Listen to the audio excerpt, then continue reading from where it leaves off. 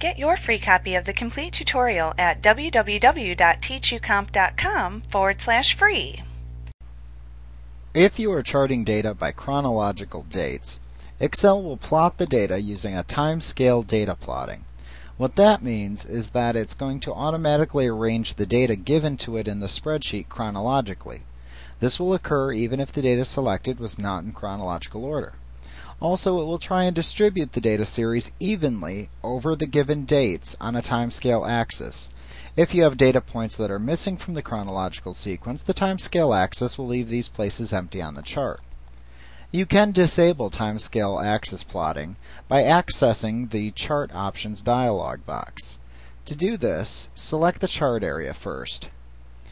Then select Chart and Chart Options from the menu bar. This will bring up the Chart Options dialog box again. Here, click the Axis tab, and then choose the Category option button under the Category X-axis checkbox. This will disable the timescale plotting on the x-axis, so the data will be plotted as it is actually entered in the spreadsheet, with no gaps to represent data missing from the sequence.